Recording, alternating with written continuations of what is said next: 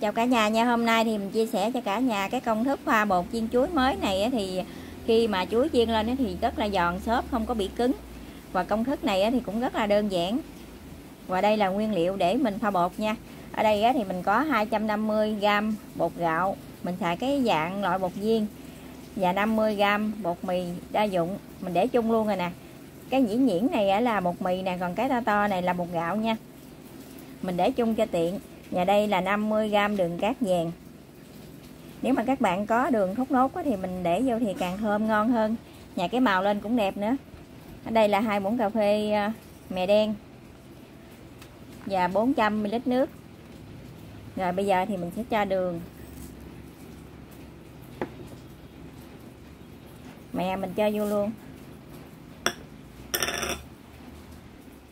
Nước thì mình cứ cho từ từ vô nha. Nước thì các bạn điều chỉnh theo cái lượng bột, tùy theo lượng bột. Nếu mà bột ờ, mới, bột cũ gì đó thì nó, cái lượng hút nước nó khác nhau nha. Bột cũ thì nó sẽ hút nước nhiều hơn, cho nên nó mình cứ điều chỉnh sao cho vừa là được. Rồi bây giờ thì mình cứ đánh từ từ để cho bột tan đều.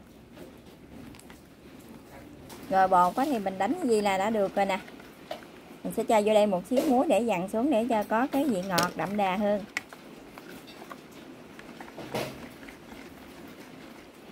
Nếu mà bột nó hơi lõn như vậy thì các bạn à, tới chân chiên thì mình nhúng 3 lần bột thì à, cái miếng chuối của mình rất là giòn nha. Còn nếu mà hơi đặc một chút xíu thì mình nhúng hai lần. Rồi bột thì mình đã pha xong rồi. Bây giờ thì mình sẽ cho vô đây là một ít nước màu dừa. Để cho khi mà mình chiên chuối lên thì chuối có cái màu vàng đẹp nha. Rồi mình đánh ra nè. Nước màu dừa mình thắng bằng nước dừa nguyên chất cho nên rất là thơm mà cái màu cũng đẹp nữa rồi, như vậy là được rồi đó. Bây giờ mình để đây cho bột nghỉ rồi mình sẽ đi lột chuối mình ép. Thì hôm nay thì mình sẽ sử dụng cái bẻ chuối này để à, mình múc chuối lên mình chiên nha. Thì à, lâu lâu mình mới chiên lần thì à, mình dùng cái bẻ chuối. Nếu mà các bạn chiên thường xuyên thì người ta sẽ có cái miếng thiếp để làm cái khuôn. Thì nó chiên sẽ dễ hơn cái này nha. Rồi bây giờ thì mình lột chuối để mình ép khi mà chọn chuối để chiên thì các bạn nên chọn những cái trái chuối mà vừa chín tới như vậy nè. Nó vừa chín tới, có cái màu hơi nhạt nhạt nè, đừng có chín mùi quá. Chín mùi quá thì cái miếng chuối mình nó sẽ bị mềm, mình chiên lên thì giòn không có được lâu. Và cũng đừng có sống quá nha. Nếu mà sống quá thì mình chiên thì chuối sẽ bị à, hay chát đó. Mình thấy cỡ này là vừa rồi nè.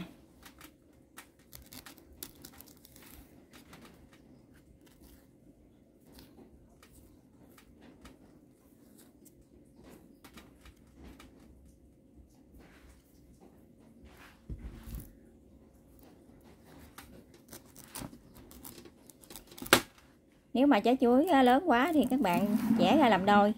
Mình ép thì cái miếng chuối nó gọn, mình ăn thì không có bị ngán.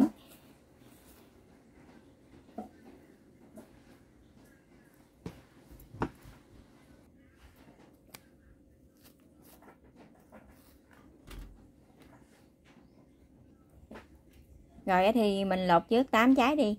Nếu mà mình chiên còn bột nữa thì mình lột thêm nha.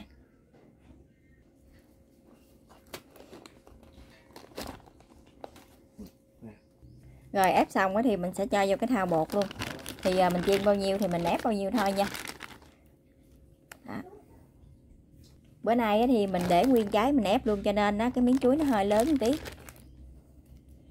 Thì kệ, mình ăn miếng nào cho đáng miếng nha cả nhà. Chứ thường thường cái chuối này thì mình cắt ra làm đôi.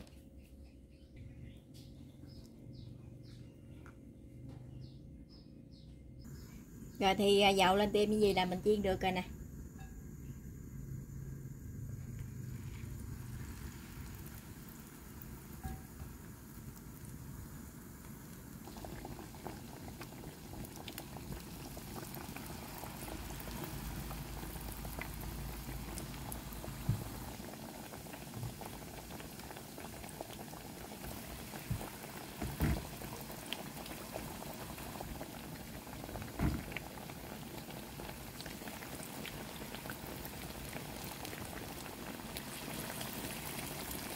Và cái chảo này thì mình chiên được 4 miếng thôi. Khi mà để vô cho bột nó gáo lại thì bắt đầu mình sẽ tách ra. Mình đừng có để cho miếng chuối nó dính liền với nhau. Khi mà gáo mặt lại thì mình chở nha. Mình chở thường thường. Chiên chuối mà mình chở thường thì cái miếng chuối nó sẽ phồng tròn đều hơn. Và chiên chuối thì các bạn để lửa lớn nha. Và mình cho dầu nhiều như gì nè để cho ngập cái miếng chuối, để cho cái miếng chuối nó được giòn. Nó chín đều hơn.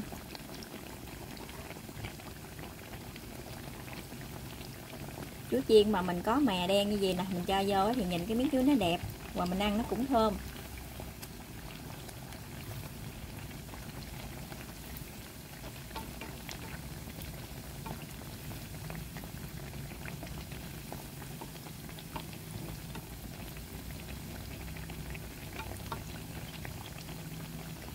Khi mà miếng chuối nó có hơi chuyển sang màu vàng như vậy thì mình vớt ra mình thấm bột thêm một lần nữa.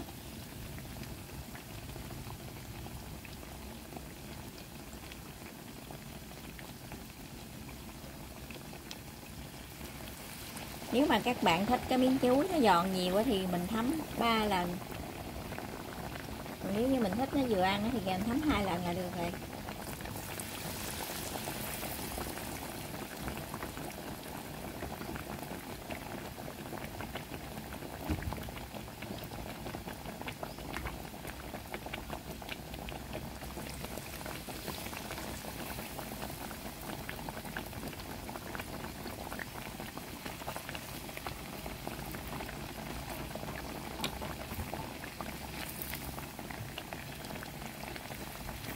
Chuối mà mình chiên á, thì mình lựa những cái trái vừa chín tới á thì mình chiên cái miếng chuối nó dễ chiên lắm.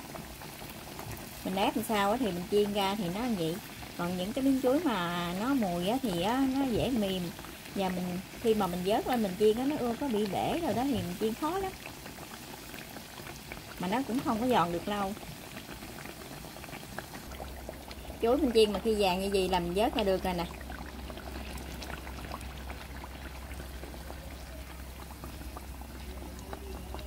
Khi mà vớt chuối ra hết thì mình vớt bột thừa ra nha. Rồi còn lại thì mình chiên cho hết cái phần chuối mình ép hồi nãy đó.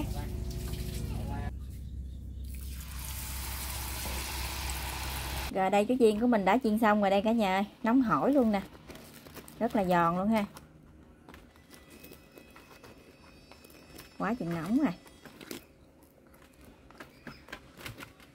Mình lựa cái miếng nào cho nó ờ, nguội nguội tí nha. Đây nè, súp sọp luôn giòn xốp. Không bị cứng. Mời cả nhà nha.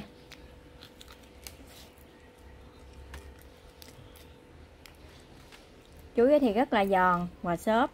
Thơm thơm của mè. Hơi có vị ngọt ngọt, không có quá ngọt. Rồi thì mình vừa chia sẻ đến các bạn cái công thức pha bột này đó. Nếu mà các bạn thích cái công thức này thì bữa nào các bạn làm thử nha. Video mình đến đây thì đã hết rồi. Mình xin tạm dừng và hẹn gặp cả nhà mình video sau nha.